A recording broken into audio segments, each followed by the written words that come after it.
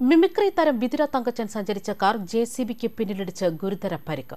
Mimicry താരവും ചാനലുകളിലെ comedy show അഭിനേതാവുമായ വിതുര തങ്കച്ചനാണ് അപകടത്തിൽ ഗുരുതരമായി പരിക്കേറ്റത്.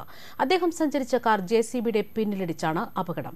പരിപാടി അവതരിപ്പിച്ച് തിരികെ എത്തുമ്പോൾ വിതിരയ്ക്ക് സമീപത്ത് വെച്ചാണ് കാർ അപകടത്തിൽപ്പെട്ടത്. താരത്തിന്റെ നെഞ്ചിലും കഴുത്തിലുമാണ് ഗുരുതരമായി പരിക്കേറ്റിരിക്കുന്നത്.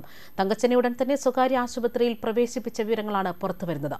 കോമഡി ഷോ പരിപാടി അവതരിപ്പിച്ച് തിരികെ പോകുന്ന വഴിയാണ് വിതിരയിൽ ജെ സി ബിയിലിടിച്ച് അപകടം സംഭവിച്ചിരിക്കുന്നത്. തങ്കച്ചൻ സഞ്ചരിച്ച കാർ ജെ സി ബിക്ക് പിന്നിലിടിച്ചുവെന്ന വിവരങ്ങളാണ് വിവരങ്ങളാണ് പുറത്തുവരുന്നത് അപകടത്തിൽ തങ്കച്ചന്റെ നെഞ്ചിനും കഴുത്തിനുമാണ് പരിക്കേറ്റിരിക്കുന്നത്. വളരെ ജനപ്രീതിയുള്ള താരമാണ് വിതുര തങ്കച്ചൻ. ഫ്ലവേഴ്സ് ചാനലിലെ സ്റ്റാർ മേജിക് എന്ന ഷോയിലൂടെയാണ് തങ്കച്ചനേറെ ശ്രദ്ധിക്കപ്പെടുന്നത്. അതേ ഷോയിൽ പങ്കെടുത്ത നടനും ഹാസ്യ കലാകാരനുമായ കൊല്ലൻ സുധിയുടെ വാഹനാപകടത്തിന്റെ ഞെട്ടൽ മാറും മുൻപാണ് ഇപ്പോൾ സുധിയുടെ സുഹൃത്ത് മിമിക്രി താരവുമായ വിതുര തങ്കച്ചൻ സഞ്ചരിച്ച കാറും ജെ സി ബിക്ക് പിന്നിലടിച്ച വാർത്തകൾ പുറത്തുവരുന്നത് ഇതിപ്പോൾ ആരാധകരെ ഏറെ ദുഃഖത്തിലാഴ്ത്തിയിരിക്കുകയാണ്. ഇക്കഴിഞ്ഞ ജൂൺ അഞ്ചിന് പുലർച്ചെ നാലരയോടെയാണ് തൃശൂർ കയ്പമംഗലത്തിന് സമീപം ബിനു അടിമാലി കൊല്ലം സുധി മഹേഷ് കുഞ്ഞുമോൻ എന്നിവർ സഞ്ചരിച്ച കാർ പിക്കപ്പ് വാനിലിടിച്ച് അപകടം സംഭവിച്ചത്. വടകരയിൽ നിന്നും എറണാകുളത്തേക്ക് മടങ്ങുന്നതിനിടെയാണ് അപകടം. കാറിന്റെ മുൻസീറ്റിലിരുന്ന കൊല്ലം സുധിക്ക് തലയ്ക്കായിരുന്നു ഗുരുതരമായി പരിക്കേറ്റത്. സുധിയെ ഉടൻ തന്നെ കൊടുങ്ങല്ലൂരിലെ ആശുപത്രിയിൽ എത്തിച്ചെങ്കിലും ജീവൻ രക്ഷിക്കാനായില്ല. ഉല്ലാസ് അരൂരായിരുന്നു കാർ ഓടിച്ചിരുന്നത്. പിക്കപ്പുമായി കൂട്ടിയിടിച്ച് കാറിലകപ്പെട്ട സുധിയെ എയർബാഗ് മുറിച്ചു മാറ്റിയാണ് അന്ന് പുറത്തെടുത്തത്. ഈ സമയത്ത് സുധിക്ക് ശബ്ദമുണ്ടായിരുന്നില്ലെന്നാണ് ദൃക്സാക്ഷികൾ പറയുന്നത്. കാറിൽ നിന്ന് എയർബാഗ് മുറിച്ച് മാറ്റി സുധിയെ പുറത്തെടുക്കുമ്പോൾ മുഖമാകെ രക്തമായിരുന്നു എന്നാണ് ദൃക്സാക്ഷികൾ പറയുന്നത്.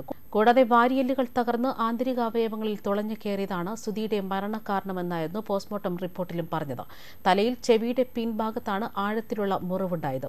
അപകട സമയത്ത് രണ്ട് എയർബാഗുകളും പുറത്തു വന്നെങ്കിലും നെഞ്ചിന്റെ ഭാഗം ഡാഷ്ബോർഡിൽ ഇടിച്ചാണ് സുധിയുടെ വാരിയല്ലുകൾ തകർന്നത്. ഡാഷ്ബോർഡിൽ രക്തം കെട്ടിക്കിടക്കുന്നുണ്ടെന്നാണ് ദൃക്സാക്ഷികൾ പറയുന്നത്. രണ്ട് വാരിയല്ലൊഴികെ എല്ലാം തകർന്നതായിട്ടാണ് പോസ്റ്റ്മോർട്ടം റിപ്പോർട്ടിലും സൂചിപ്പിക്കുന്നത്. സീറ്റ് ബെൽറ്റ് ധരിച്ചിരുന്നെന്ന കാര്യത്തിൽ ഇതുവരെയും വ്യക്തത വന്നിട്ടില്ല. പിന്നാലെ ഗുരുതരമായി പരിക്കേറ്റ സുധിയെ കൊടുങ്ങല്ലൂർ എയർ ആശുപത്രിയിൽ എത്തിച്ചെങ്കിലും ജീവൻ രക്ഷിക്കാനായില്ല. സുധിയുടെ മരണത്തിനിടയാക്കിയ സ്ഥലം സ്ഥിരം അപകട മേഖലയെന്നാണ് നാട്ടുകാർ പറയുന്നത്. ഒരാഴ്ചക്കിടെ പനമ്പിക്കുന്നിൽ നടക്കുന്ന രണ്ടാമത്തെ അപകട മരണമാണിതെന്നാണ് ദൃക്സാക്ഷികൾ പറയുന്നത്. അതേസമയം കൊല്ലം സുധിക്കൊപ്പം കാറിൽ സഞ്ചരിച്ച ബിനു അടിമാലിക്കും മഹേഷ് കുഞ്ഞുമോനും ഗുരുതരമായി പരിക്കേറ്റിരുന്നു. വാഹനാപകടത്തിൽ മരിച്ച കൊല്ലം സുധിയെക്കുറിച്ചുള്ള ഓർമ്മകൾ ഓർക്കാൻ ഇഷ്ടപ്പെടുന്നില്ല എന്നാണ് ഈ അപകടത്തിന് പിന്നാലെ ബിനു അടിമാലി പറയുന്നത്. സംഭവത്തിന് പിന്നാലെ താൻ ശരിക്കും ഉറങ്ങിയിട്ടില്ലെന്നും തന്റെ സഹോദരനെയാണ് തനിക്ക് നഷ്ടമായതെന്നുമാണ് ബിനു അടിമാലി ഈ സംഭവത്തിന് പിന്നാലെ കൂട്ടിച്ചേർത്തത്.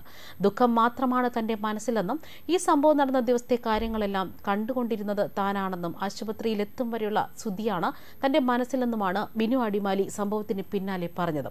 സുധിയുടെ ഫോട്ടോയിലേക്ക് നോക്കാൻ പോലും തനിക്ക് കഴിയില്ലെന്നും ഉറങ്ങാൻ കഴിയാതെ കിടക്കുന്ന അവസ്ഥയാണ് തനിക്കെന്നുമാണ് അദ്ദേഹം പറഞ്ഞത്. രേണുവിനെയും മക്കളെയും എങ്ങനെ ആശ്വസിപ്പിക്കണം എന്ന് അറിയില്ലെന്നും അദ്ദേഹം കൂട്ടിച്ചേർത്തിരുന്നു.